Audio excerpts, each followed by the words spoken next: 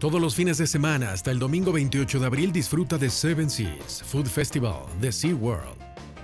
Platillos gourmet creados por el chef ejecutivo de SeaWorld, Dave McHugh, y su experto equipo culinario, con destinos gastronómicos en todo el parque.